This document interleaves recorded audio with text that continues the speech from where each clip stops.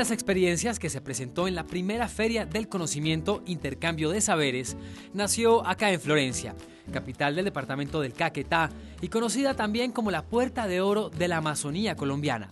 Acá está la institución educativa Barrios Unidos del Sur, donde surgió una experiencia inspiradora llamada Aulas Colaborativas, que hace parte del programa Todos a Aprender y que busca analizar y renovar las prácticas pedagógicas dentro del aula.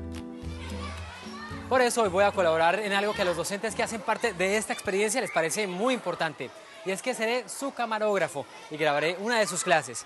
Y aunque parezca muy extraño, esa es una de sus estrategias innovadoras que aplican en el programa de Todos Aprender. Así que veré cómo me va en mi rol como camarógrafo. Ahorita nos vemos. ¿Qué profe? ¿Qué más? Vea. Vea, traje mi cámara. Profe, ¿cuál es el objetivo de grabar las clases? El objetivo de grabar las clases nosotros es para analizarlas y mirar en qué estamos fallando, porque nosotros no somos perfectos, vamos aprendiendo del uno y del otro. Entonces nosotros grabamos las, las clases, nos reunimos a observar formas de uno actuar o hacer que a veces a uno se le quedan. ¿sí? Profe, a mí me gustaría mucho que me contara sobre ese grupo de trabajo que han conformado entre varios docentes para analizar y reflexionar sobre lo que pasa en las clases. Conmigo son seis, tres que estamos laborando en el grado quinto y otros en los diferentes grados. Estamos reuniéndonos horas extras o jornadas eh, contrarias para poder salir adelante con el proyecto de, de aula. Profe, ¿y será que de pronto yo podría asistir a alguna de las reuniones que ustedes tengan con los docentes? Sí, señor, claro. Si gusta, vamos. Resultados de evaluaciones como las pruebas Saber tercero, quinto y noveno señalan que los niveles de aprendizaje de la mayoría de los estudiantes de las instituciones educativas públicas en Colombia son bajos. Ahora, a los docentes se les está exigiendo que mejoren sus prácticas de enseñanza, pero para afrontar este enorme reto, la mayoría de las veces los maestros están solos. Teniendo en cuenta esta situación, el programa Todos a Aprender fomenta la conformación de comunidades de aprendizaje en las que los grupos de docentes se reúnen y reflexionan sobre el quehacer del aula. Comparten entre ellos estas reflexiones e identifican de manera conjunta alternativas pedagógicas a, través de la formación situada hecha por tutores. Una de esas comunidades es la que está reunida ahora acá. Profe, ¿cómo surgió esta comunidad de aprendizaje? Esta comunidad de aprendizaje surgió mediante el programa Todos Aprender con el tutor Víctor Murillo, que fue el que nos dio las orientaciones. Y vimos una buena experiencia trabajar con, con, en grupo para fortalecer el aprendizaje tanto de nosotros como de los estudiantes. ¿Y eso en qué les ayuda a ustedes como docentes?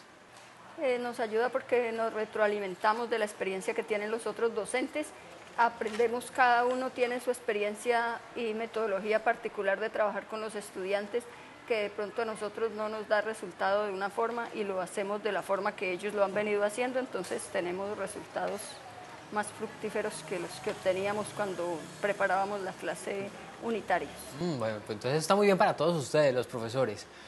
¿Cómo se benefician entonces los estudiantes? Los estudiantes, con los estudiantes también tenemos comunidades de aprendizaje. Ellos trabajan en equipos, conformamos grupos de cinco o seis estudiantes, donde hay un líder que es el que le ayuda a los otros cuando, no, cuando ellos tienen dificultades o no entienden, a veces le entienden más fácil al mismo compañerito que al docente, entonces ellos les explican, el que acaba primero le colabora al compañero explicándole cómo se hacen los ejercicios, cómo se hace la actividad y también en el material que trabajamos cuando planeamos las clases es algo que es muy significativo para ellos porque las clases no van a ser memorísticas sino prácticas y, van, a, van a entender mucho mejor. Profe Víctor, ¿por qué es importante que los mismos docentes analicen sus prácticas en el aula de la clase? La reflexión sobre la práctica de aula que hace el mismo docente es una oportunidad para que él sea consciente del proceso que desarrolla y que identifique los, las dificultades, los aciertos que tiene como docente. Y es una oportunidad para que él transforme, para que él desde su propia reflexión eh, tome la iniciativa de cambiar, de transformar, de modificar algunas acciones de su práctica de aula que le permitan desarrollar cada vez mejor su trabajo y lograr mejores aprendizajes en sus estudiantes.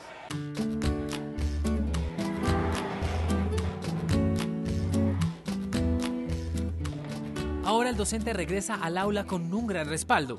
El trabajo previo del análisis y replanteamiento de su práctica pedagógica, hecho con sus pares, le da mayor seguridad y motivación, le permite innovar.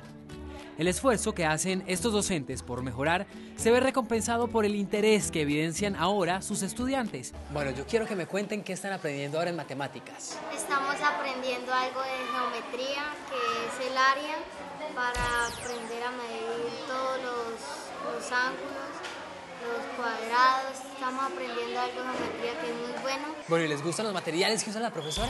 Sí, señor. ¿Por qué? Porque son muy entretenidos, uno puede manejar las manos, la plastilina, todo eso es entretenido y uno las como un juego ahí.